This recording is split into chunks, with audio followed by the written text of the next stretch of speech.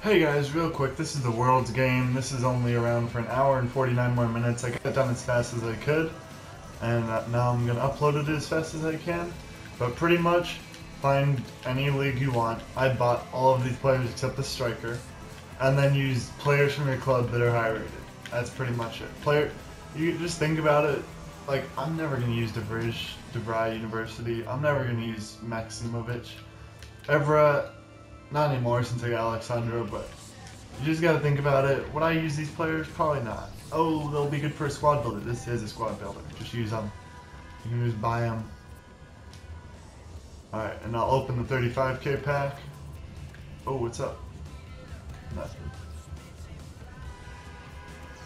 Um, okay, no team of the week play. Mega pack, no lockout. My mic is not on. I just realized that. Vermaelen, that's not bad. I like I like my Roma boys. But yeah, ooh. That's a good league. Sell your players right now too. Sell your silvers and bronzes. Maybe not.